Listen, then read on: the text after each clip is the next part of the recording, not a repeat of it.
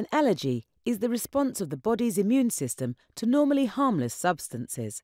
In most people, these substances, also known as allergens, pose no problem. However, in allergic individuals, their immune system can identify an allergen as a threat and produce an inappropriate response.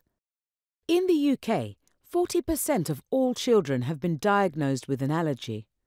Allergy symptoms can affect all aspects of a child's day to day life, including their education, health and well being, and social activities.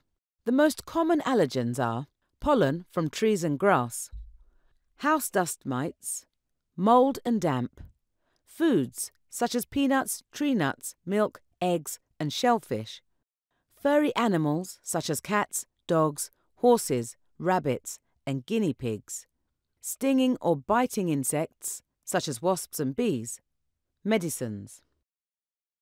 When a person comes into contact with an allergen, it triggers a response which causes release of substances and chemicals such as histamines into surrounding tissues.